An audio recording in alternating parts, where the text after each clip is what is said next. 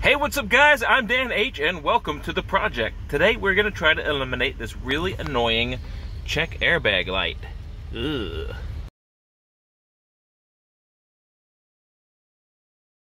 All right, guys, before we get started on today's project, I just want to give you guys a huge shout out. Thank you so much for all your views, all your comments, all your likes. You guys keep me motivated, and not only do you watch my videos, but you send me stuff. So right now, I want to give a huge shout out to Ben for this inflation gauge. Thank you so much, Joe Craven, for this delicious Viking mead. And this video is brought to you by Jordan, who sent me an airbag module. So thank you so much, Jordan. You're the reason why this video is happening, and also thank you for the badass stickers.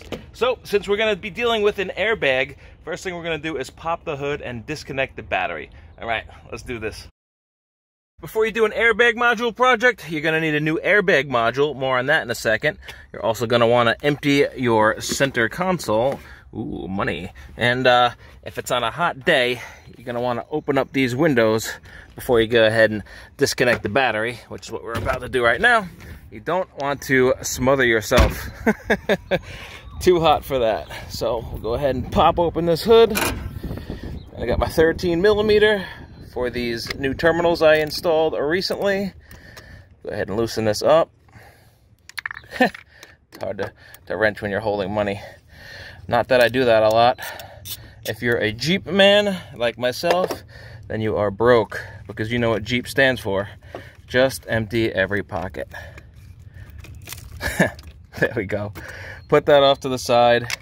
Now we will go in remove that airbag module. Mm, give me that nickel.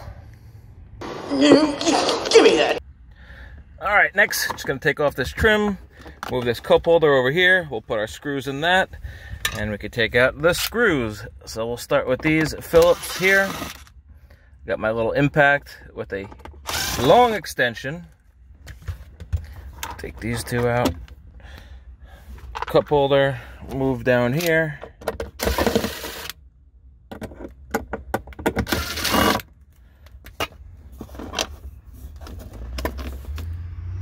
Holder.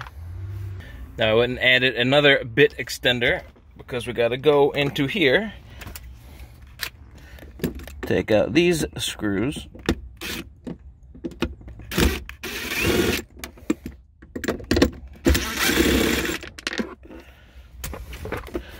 take out the guts, and that exposes a couple more screws down there. There. Once you got those five inner screws removed, that should be it you go ahead and lift this console up from the back, give it a good jiggle, and it should start coming up. All right, now you gotta stomp your brake, turn the key on the run position. We're gonna move the shifter into neutral.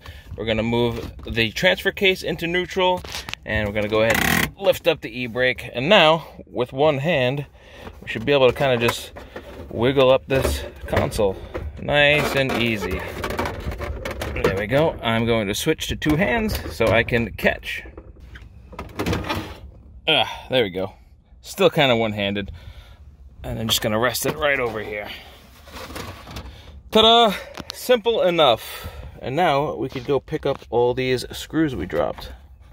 And once you've collected all your screws, the next step is going to be to remove these four 10 millimeter fasteners right over here. But before we go any further, don't forget to put everything back into park. You don't want this thing to roll on you. If you want, you could chalk the wheels. That would be smart. But now we could remove our foot from the brake pedal and go get some more tools. All right, I've replaced my Phillips bit with a good old 10 millimeter. And now we're just going to bang out these screws right here.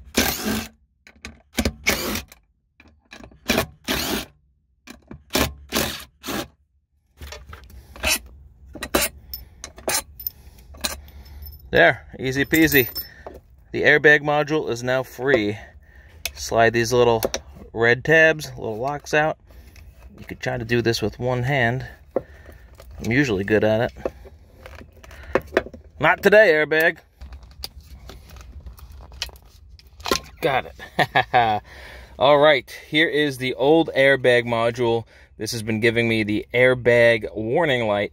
Now, there has been a factory recall with a lot of these airbag modules. I'm not exactly sure which serial number there are, but check your dealership, have them run your VIN, and see if they could tell you if you get a new airbag module. Now, here is a 2004 airbag module. Now, apparently in 2004, they fixed that issue. the issue was that some of these airbag modules was causing the airbags to deploy, causing injury to drivers who were driving it at the time of the deployment, which is crazy. Reminds me of what happened to Andy and his XJ. oh, man. what the heck? How does this happen? If you haven't seen that airbag video for XJs, go check that out right now. But since we got a 2004 module, this should fix the problem. Now, I'm not sure exactly what is what, but I do know that there are different types of airbag modules. Maybe it's because there's different trim levels with Laredos and with these limiteds. Um, this one has black connectors and I know there are some out there with gray connectors that will not fit. Um, you're going to want to make sure that you get the same color connector. That's the only way I know how to tell the ones that will fit for your WJ. So we're going to try this out, see if it works, and then uh, we'll put everything back together. Click, click. Simple as that, guys.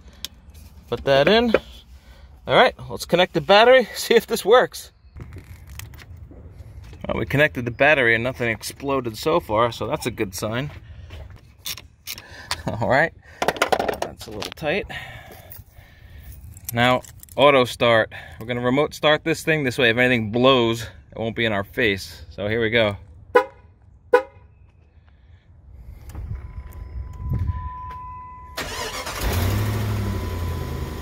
Yay, no deployment. Check it out, guys. Airbag light is off. Yeah, baby. Thank you, Jordan. that is so sweet. All right, let's go ahead and pop in these screws. We'll refasten the new airbag module right down from whence she came.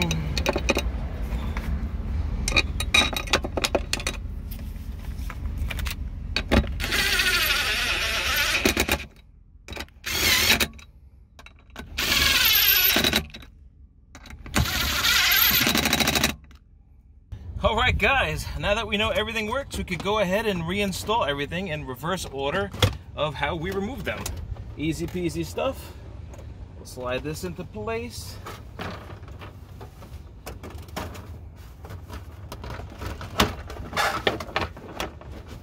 There we go.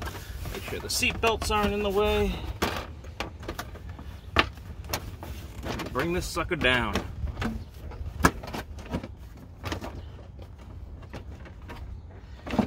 Forget to line up these little plastic flaps underneath this trim over here. Makes a nice good weather tight seal for weather. uh, there we go.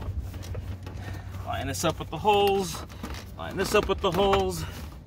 Wiggle that console back into the uh, spot clearly marked by the coffee stains. Perfect. Zips right in there. Beautiful back into the park. Make sure all these holes line up down here. Excellent. All right, time to reinstall the screws.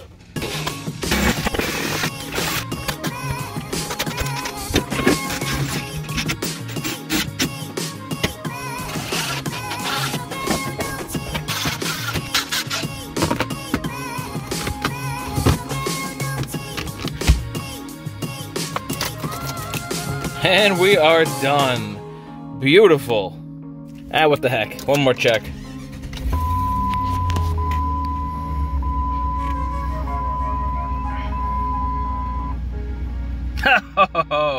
that is just lovely.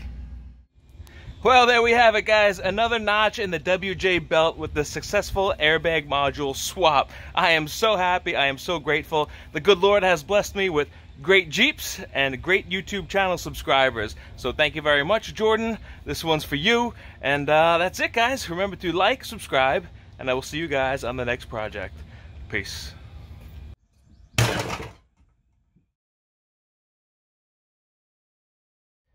Want to see what happens when you misalign your center console?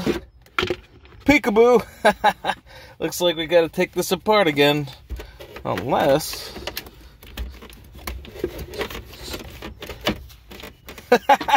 it works. All right, let's go.